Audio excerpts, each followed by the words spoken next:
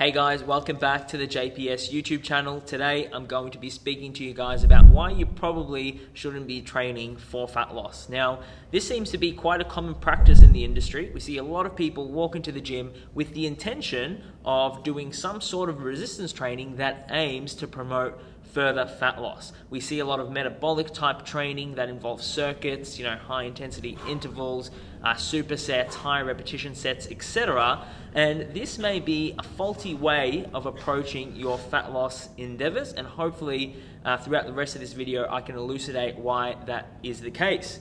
Now, the reason people choose this type of metabolic training is because it comes with a large degree of energy production, specifically anaerobic energy production, and potentially more energy expenditure.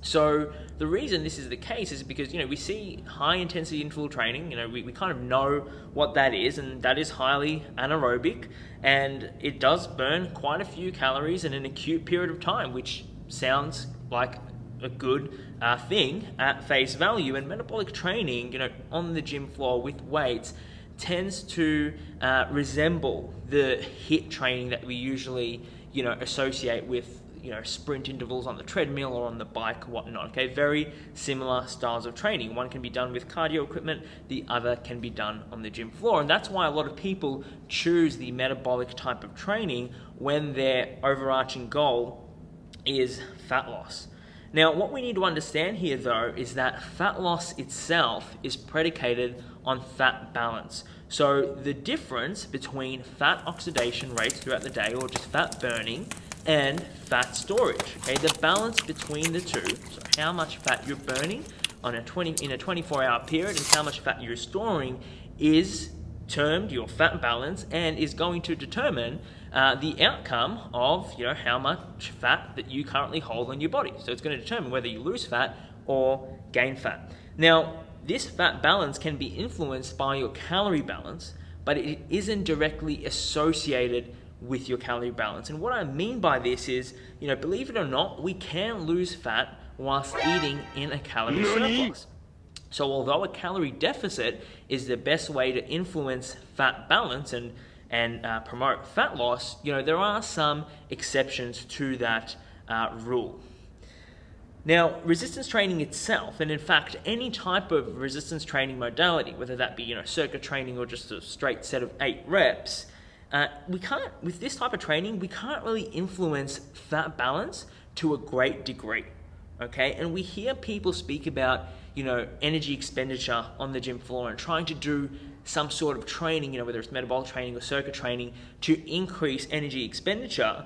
But the reality is, you know, on average, resistance training sessions are going to burn anywhere in between 70 to 300 ish calories. And this is dependent on many factors how many sets you're doing, you know, the style of training you're doing, the individual themselves, how big they are, how much muscle mass they have.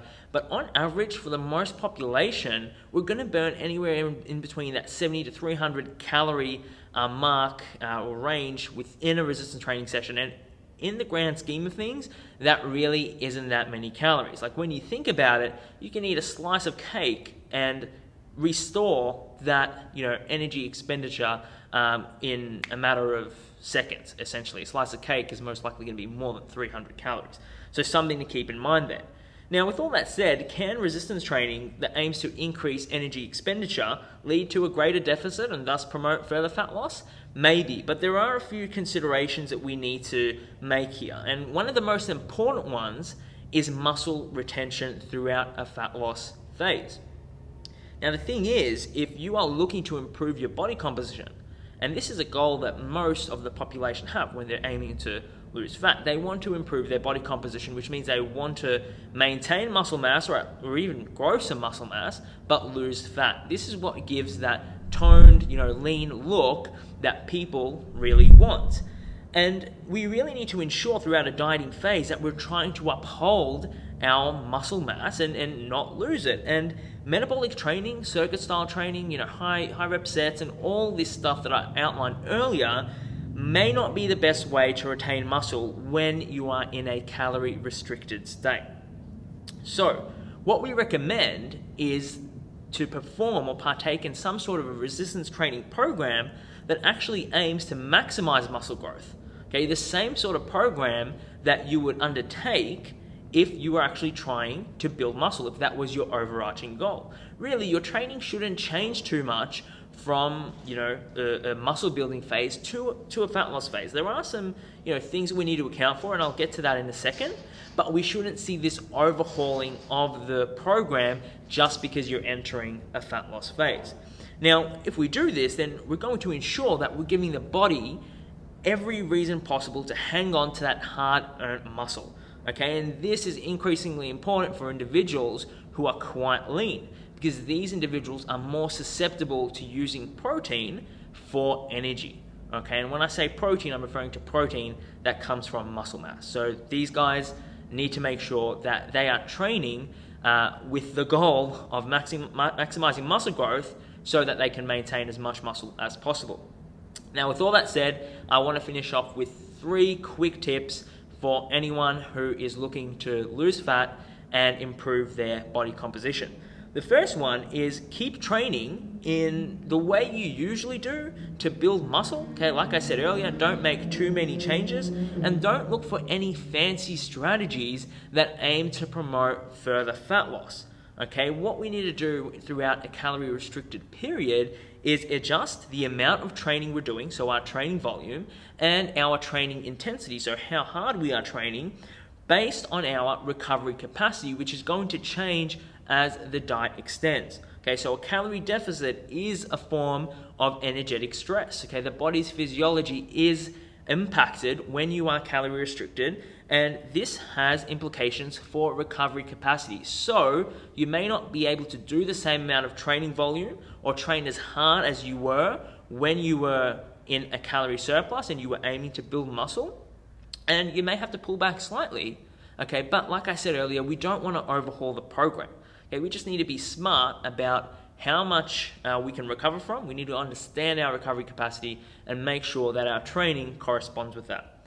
The second tip is to choose exercises that come with a low fatigue cost to maximize the training effect and minimize the overall fatigue that you get from that training. Now, when you're eating in a calorie surplus, you can get away with some additional fatigue because you can probably clear it quite rapidly and recover really well. But when you're in a calorie deficit, things start to change. It's a different story, and you need to minimize the amount of fatigue you accumulate from your training but you need to maintain the effectiveness of that training too.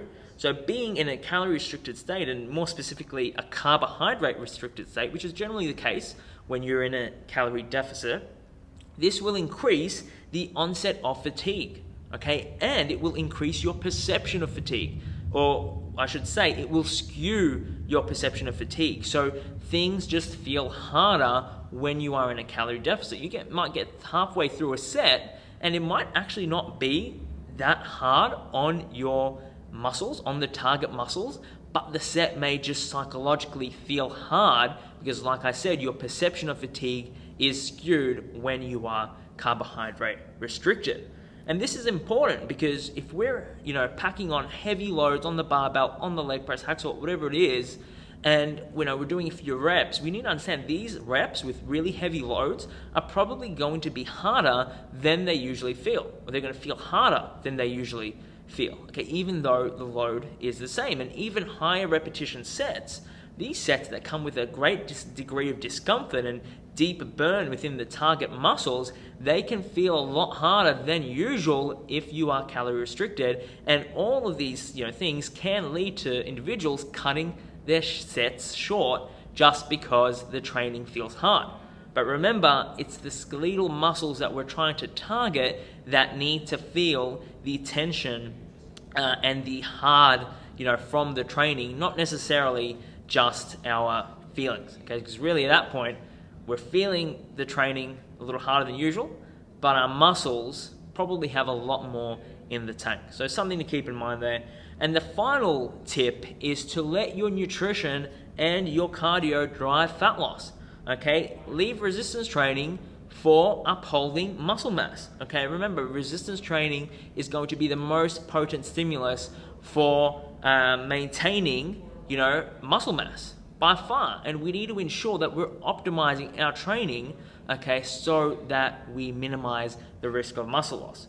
Okay, remember changes to your calorie intake are going to have the greatest magnitude of impact on your calorie balance and thus on your fat balance as well. So, changing your calories, adjusting your calories based on how you're progressing is going to be the best way to promote further fat loss. And you know, there comes a point when it gets hard to continue making calorie changes, and that's when you can utilize cardio to increase energy expenditure and further widen that uh, energy deficit.